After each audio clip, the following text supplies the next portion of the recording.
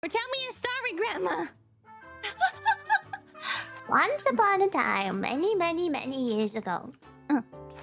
What the heck? Grandma doesn't speak like that. I've ever heard, Grandma.